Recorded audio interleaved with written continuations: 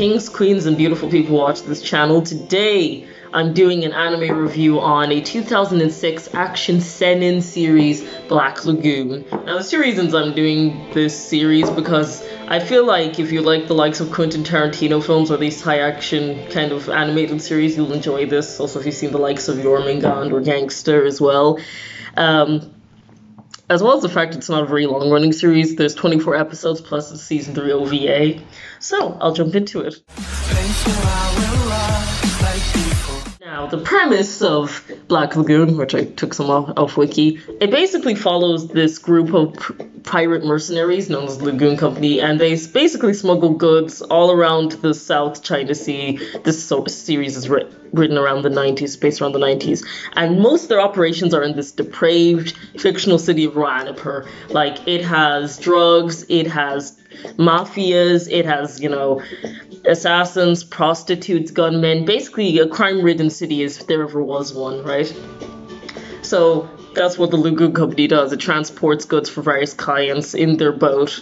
Usually, most of their dealings have to do with the Russian mafia, though. Now, the story starts off with the character Rokuro Okajima. Basically, he's your typical Japanese businessman, you know, hates his job, always getting his ass kicked by his bosses. And one day, he's literally just sent to transfer some files or some CD or whatever with the plans he doesn't particularly know of.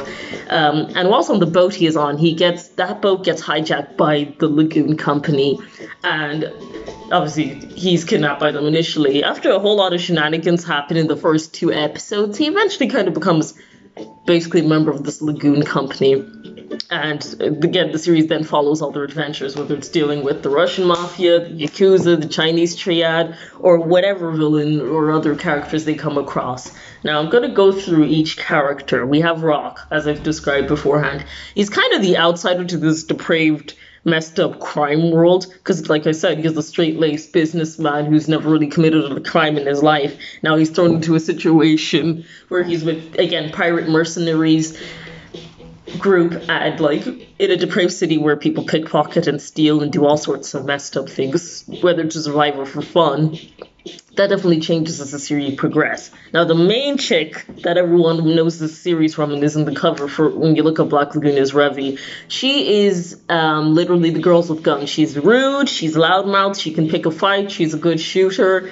She is a tough guy girl. You know what I mean? She's the tough girl stereotype in some ways. I mean, some people like her because she, you know, sometimes she is set in very sexualized positions when she's shooting. She is kind of a fun character in that regard. That's one thing I like about the series. Each character generally has a personality, and she's probably the one character who swears a lot. Like this show, I think would be straight up in 18s or 15s in some scenarios because of the use of the F word and S word and a lot of other terms, right? They're like the main ones. Revy, gun toting, heavy drinker, heavy fighter, heavy shooter, basically. Really messed up childhood that they go into depth in season three. Now, the. Now there is Dutch. Um, he is the leader, kind of, of this pirate mercenary group, the Lagoon Company. I'm just gonna call it the Lagoon Company. He's, we don't know a lot about his past, but from what I'm gathered, he used to be in the military, and you know, he's cool, calm, collected. He's able to shoot as well, but he he always has his head screwed on. He's not really just gonna start a fight out of no for no reason. Then Benny is basically their tech and computer guys. Basically, he was, as he puts in the first episode, he was messing around and things he shouldn't have been and got involved with the FBI until Revy had to save him. Now, there's other side characters in the series that I enjoyed as well. Balalaika, who's from the Russian Mafia, love that character. There's Eda from the Ripoff Church, which is basically fronts as a church, but they do a lot of weapons and other illegal shit. And there's a lot of fights I enjoy in this series as well there's other side character I like going to like Chinglish, because I can't remember her actual name, that um, Revy refers to a lot.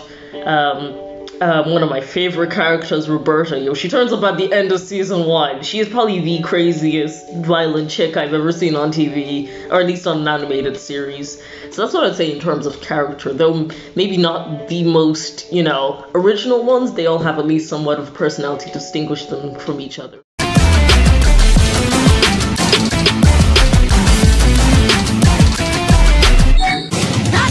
Now, in terms of anim, in terms of animation and sound, Um, I think for a 13, nearly four, actually 14 year old anime, I think Black Lagoon still looks pretty good. It's animated by Studio Madhouse. If you've seen my Death Note review, I mentioned other things they've animated Hunter x Hunter, Attack on Titan, High School of the Dead, Death Note itself.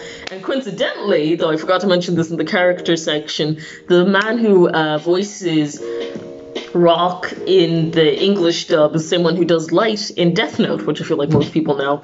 Also, the other reason I don't really go into subs and dubs is because I I mostly watch in both. And uh, though if it's an old series, I will watch in dub. Also, this is one of the few series I think works better in the English dub because most of the characters aren't Japanese. The only character is um, Rock himself. Everyone else is pretty much different ethnicity, so it since they speak English.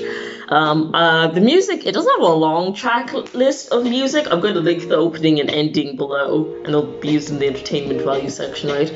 Uh, Red uh, Mell's Red Fraction. It's a sort of English song, suits within the tone of the song. Loads of people love that one.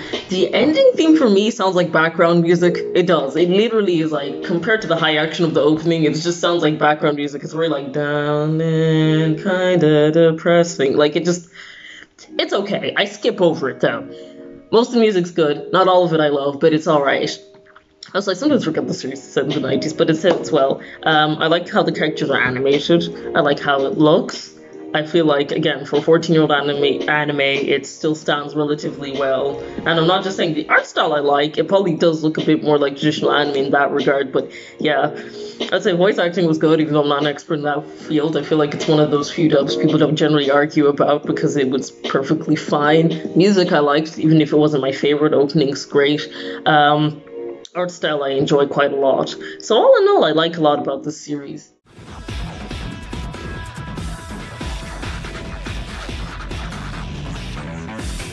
Entertainment value, I know I didn't go through every section. The only parts of the series that downfall for me is kind of when it goes into season two. Now, sometimes when you look at Black Lagoon, you can watch all 24 episodes, but they did this in Japan specifically. Usually there's a long break between season one and two, but there's only four months for Black Lagoon.